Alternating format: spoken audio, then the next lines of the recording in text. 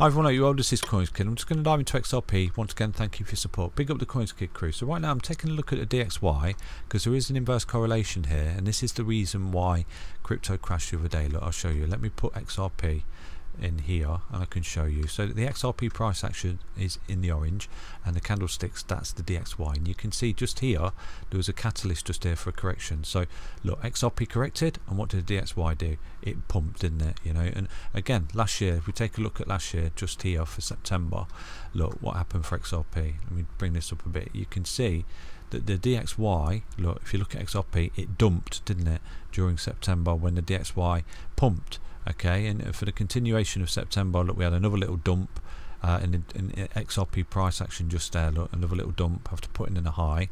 And at that point the DXY pumped as well. But it's at that point that the DXY started to fall okay? And it lost a key level support and when it did and started to roll over this is where you see an explosion for XRP look the correlation the inverse correlation sorry between here and here. Because just here last year XRP lost a um, the DXY lost a key level support just there. Okay look let me show you look. So you've got a key level support just there some kind of head and shoulders pattern. And when you lost support you kept lost it come back down tested it support continuation of downtrend. And just here what happened to XRP it absolutely exploded and took off into space. Do you understand that? But when the DXY started to pump on, on the 1st of September just here look pumped what happened to XRP corrected had a little relief rally and then entered another low during the month of uh, September there. Towards the end of September when uh, the DXY had another little rally and made a, a higher high basically you know the XRP fell over again. So do expect that September is going to be really choppy here for XRP like I said to you it's it's going to be messy. But I do think that once we get out of this and the DXY starts to roll over and loses a key level of support, especially, this is where you could see as sort of rally for crypto here, basically. You know, and it's exactly the same things happened again here. Look, we've we've come into September and we were looking for a catalyst here. You know, I think think it was going to be around about the first September, but it wasn't.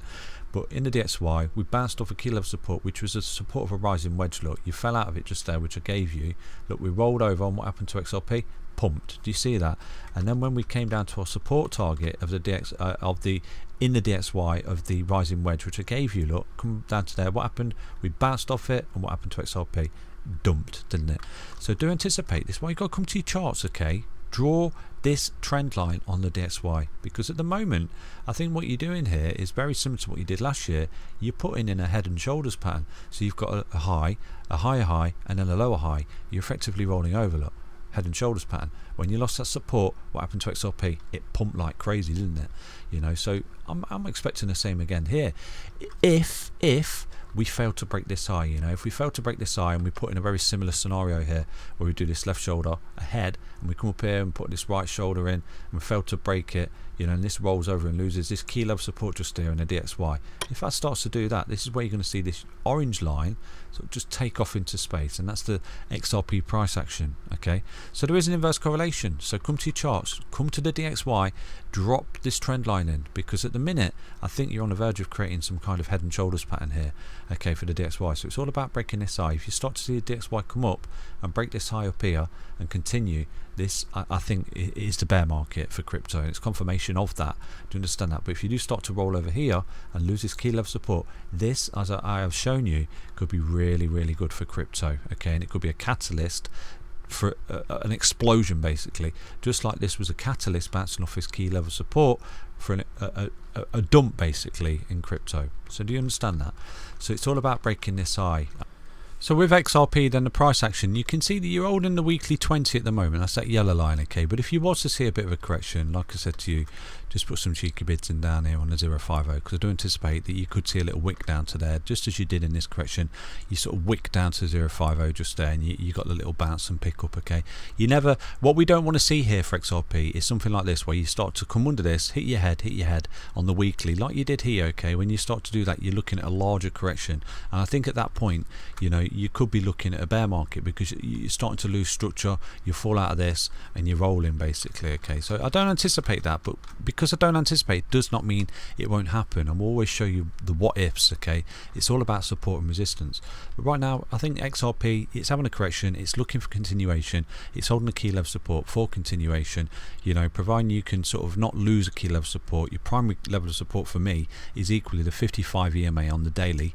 Can't lose that because if you start to come down and you start to lose that on the daily, uh, on the weekly, sorry, uh, currently sits at around about 60, 73 cents. Okay, that would actually be lower than the golden ratio retracement right there, and I could see you potentially just sort of rolling here. You know, you're doing something like that, and you, you just you, you're entering the bear market. Okay, so it's doing really well. It is doing really well, and like I said to you, it's sort of playing out as it's played out before.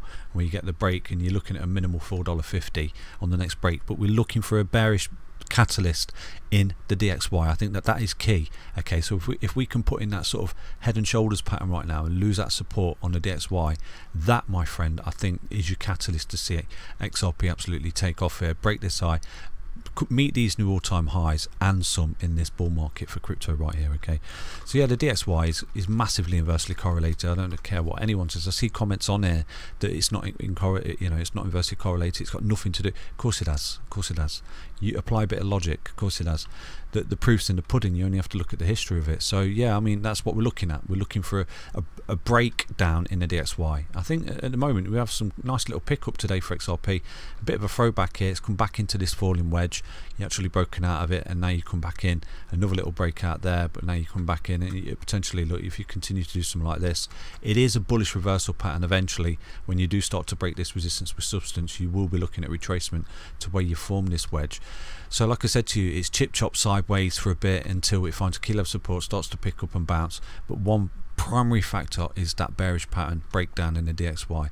So that's XRP. Hope you enjoyed that update. I'll be try to be a bit more technical on XRP itself tomorrow. Take care, everyone. Back soon with another update on XRP. Stay healthy, stay strong, stay tuned. Bye bye.